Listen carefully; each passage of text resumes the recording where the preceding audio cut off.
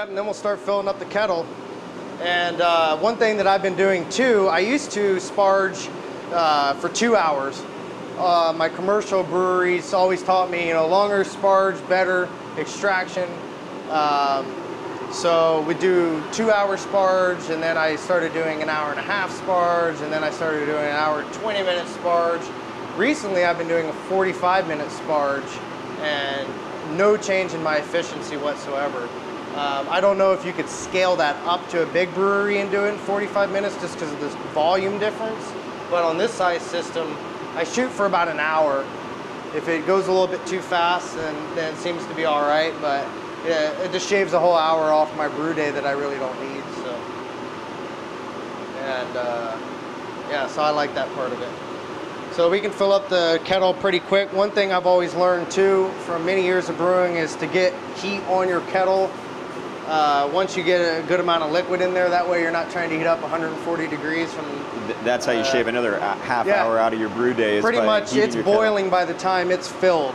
Um, sometimes I'll turn it off and let it fill the last inch or so, and then I turn it right back on and it's boiling. So these burners have some serious heat behind them too, so it doesn't take long. So yeah, we just went from 100 the mash was originally at 151. It dropped a little bit just because it's not an insulated uh, container, which makes sense. But it dropped to about 150, 46, and it went from 146 to 156 in about a minute. And we'll be at 170 here in another couple minutes. So, and you guys can't see it on camera, but the wort is like crystal clear already. So. Research. And that's the great part about doing the mash out is that you're doing a recirculation of the wort at the same time you're heating the temperature up. Yeah, I never had the ability to do this before in my old system. I mean, I did, but I would have had to buy more equipment, so I never did it. Um, but as soon as I got this system, I started doing this mash out recirc, and I love it. Uh, I mean, the science behind grain is that you stop all enzymatic conversion, and it actually helps release the, the sugar out of the grains better. Um, so I've noticed a big difference in efficiency doing it this way. And uh, I think I'm up, I calculate my recipe, recipes using about 85% efficiency. 85%. Which, you know, most recipes you That's see online are about 70. So we get quite, you know, and if I, if I factor in my total volume output that I get, that if the brew house efficiency goes down, because I only save 15 gallons out of the 20 I make just because I, I do it all in one tank instead of having corny can, I have partial filled corny can and the bright tank. Um, so because you're using uh, Sankey kegs. Yeah, because I'm using Sankey keg as my bright tank uh, that they designed for us, which we can probably show you guys here in a little bit.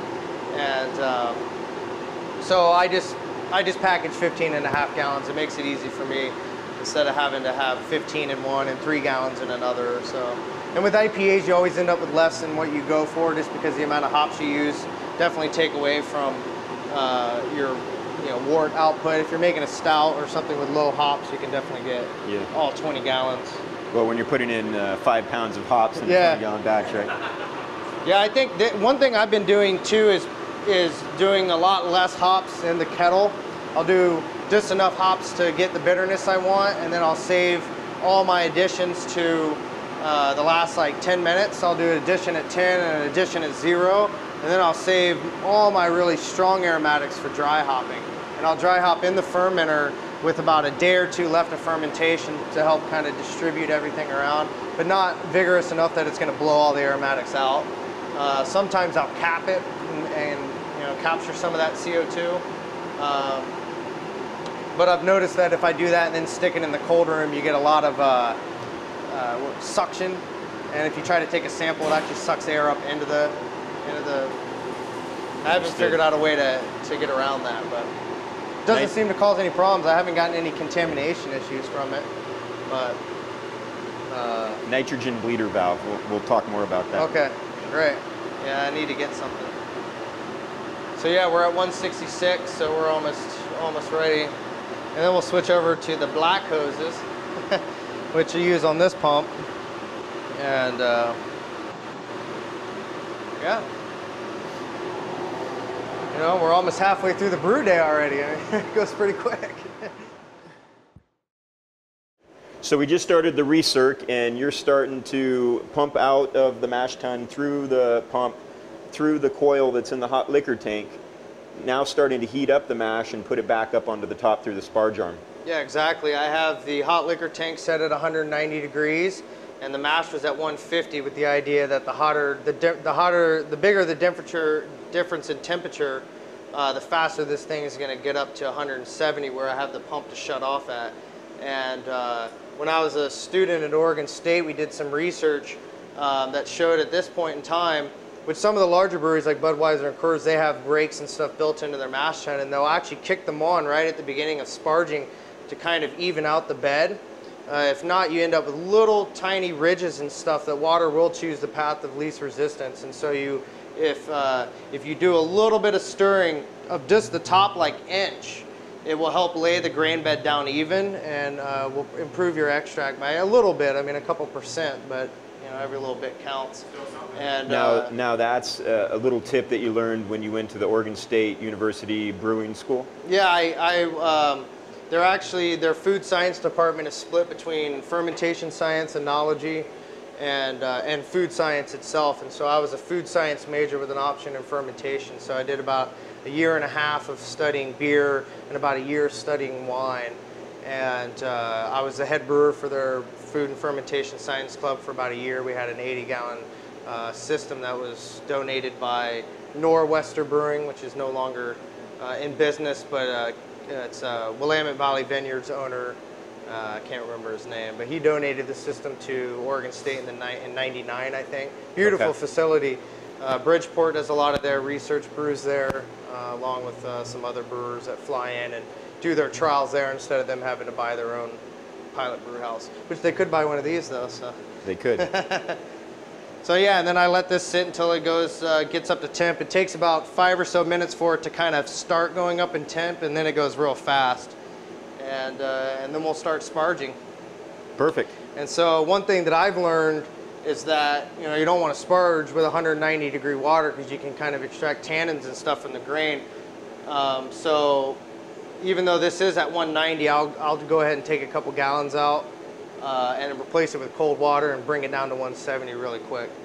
And then that way we're all at the same temp. So so yeah, well we just you know I tell everyone about this system that you kind of just watch it do its thing. You just kind of sit here and man it. So uh, when I'm brewing by myself, you know, a lot of people will be like over there going, oh, they'll look through the window and see the hot liquor tank spurting water out, and they'll be like, something's happening. It's all right. It's all right. I know what's going on.